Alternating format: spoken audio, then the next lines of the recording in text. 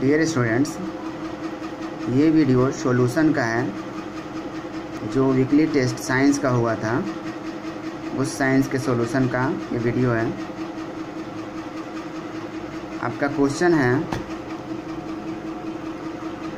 name the process to separate the components of the following mixtures rice husk and tiny stones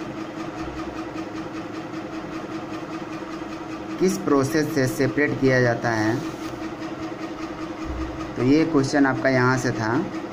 Rice husk and tiny stone hand picking process से separate किया जाता है। हाथ से पकड़कर, चुनकर छोटे छोटे स्टोन को सेपरेट किया जाता है। अगला क्वेश्चन है आपका। Wheat flour and husk wheat flour and husk किस प्रोसेस से सेपरेट किया जाता है?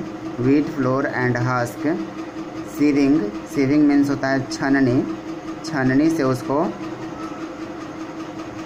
सेपरेट किया जाता है फ्लोर को। उसके बाद आपका अगला क्वेश्चन है। Grains attached to stalk in field grains attach to stalk in fields winnowing process से सेपरेट किया जाता है। विनोइंग प्रोसेस आपने पढ़ा होगा। हार्वेस्टिंग करने के बाद क्रॉप को ज़ोर ज़ोर से पीटा जाता है। और फिर उसको हाथ से पकड़कर हवा में उड़ाया जाता है, जो आप यहाँ देख सकते हैं। ये आपका विनोइंग प्रोसेस है, जिससे ग्रेन्स को अलग करते हैं स्टॉक से।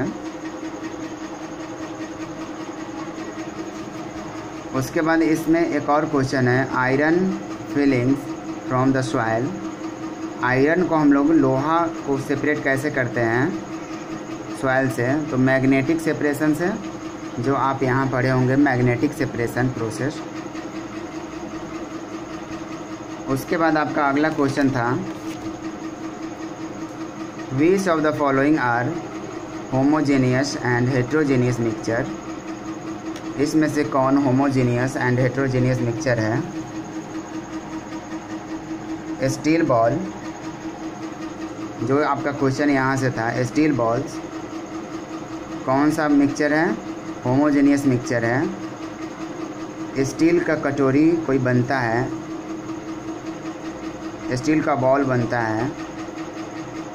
तो वो कैसा मिक्सचर होता है? तो होमोजीनियस मिक्सचर होता है। क्यों? क्योंकि उसके सारे कंपोनेंट इक्वल यूनिफॉर्म अमाउंट में सभी जगह फैले होते हैं। यूनिफॉर्म अमाउंट में सारे मिक्सचर सारे मिक्सचर के कंपोनेंट फैले होने, होते हैं, जिसको होमोजेनियस मिक्सचर कहा जाता है।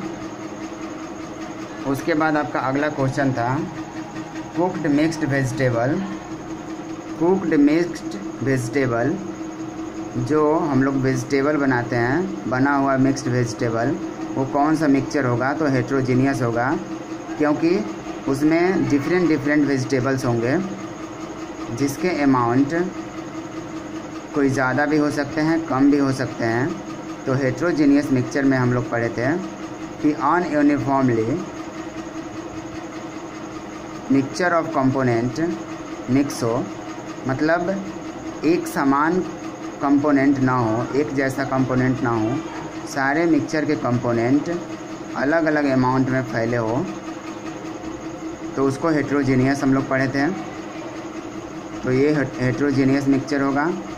अल्कोहल मिक्स्ड इन वाटर ये आपका अगला क्वेश्चन है। Alcohol mixed in water alcohol को वाटर में मिक्सड करते हैं। तो ये कौन सा मिक्सचर है? तो होमोजीनियस मिक्सचर है। होमोजीनियस मिक्सचर मीन्स जिसके सारे मिक्सचर के कंपोनेंट यूनिफॉर्म एक समान सभी जगह फैले हो। तो अल्कोहल एंड वाटर को मिक्स करने के बाद अल्कोहल एंड वाटर एक एक साथ पूरे कंटेनर में फैल जाते हैं। जैसा कि मिल्क एंड वाटर को मिक्स किया जाएगा तो वैसे ही मिल्क एंड वाटर एक दूसरे में घुल मिल जाएँगे, सभी जगह यूनिफॉर्म फैल जाएँगे तो वो भी होमोजीनियस होगा। अगला क्वेश्चन था आपका true false alum dissolve in water easily alum जो आपका क्वेश्चन यहाँ से था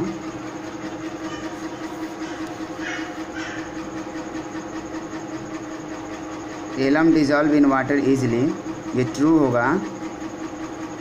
कुछ ही दिन पहले हम लोग पढ़े थे कि एलम वाटर में आसानी से डिजॉल्व कर जाता है, जिससे वो लाइटर डस्ट पार्टिकल को नीचे सेटल होने में हेल्प करता है। अगला क्वेश्चन है आपका। The liquid obtained after filtration is called filtrate तो जो लिक्विड फिल्ट्रेट फिल्ट्रेशन के बाद प्राप्त होता है उसको फिल्ट्रेट कहते हैं। तो हाँ सही बात है ट्रू है। जो लिक्विड फिल्ट्रेशन के बाद प्राप्त होता है उसको फिल्ट्रेट ही कहा जाता है। अगला क्वेश्चन है आपका। Evaporation takes place continuously in nature हम लोग पढ़े थे। Evaporation takes place continuously in nature ये ट्रू है। इवेपोरेशन नेचर में लगातार होते रहता है। जैसे कहीं पौंड में पानी है तो उस, वो पानी धीरे धीरे कम होते जाता है। जैसे जैसे हीट बढ़ता है तो हीट बढ़ने के साथ साथ वो इवेपोरेट होता है। हीट का लेवल बढ़ता है तो इवेपोरेशन का लेवल भी बढ़ता है। तो कंटिन्यूसली हमारे नेचर में, प्रकृति में ये होते रहता है इवेपोरेशन मीन्स ट्रू है। अगला क्वेश्चन है आपका। What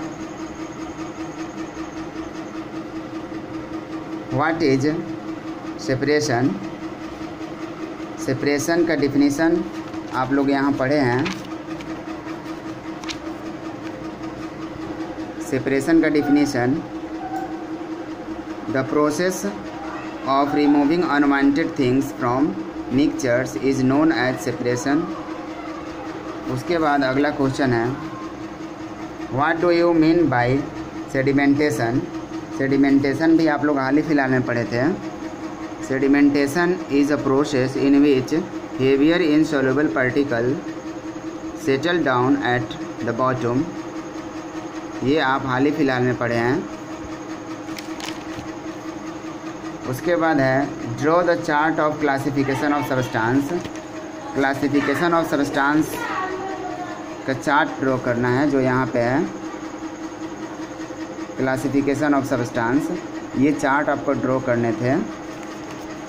उसके बाद है draw the diagram of filtration of sand and salt from water ये भी आप हाल ही फ़िलहाल में पढ़े थे, जो यहाँ हैं। Filtration of sand and salt from water ये चार्ट आपको ड्रॉ करना था। Thank you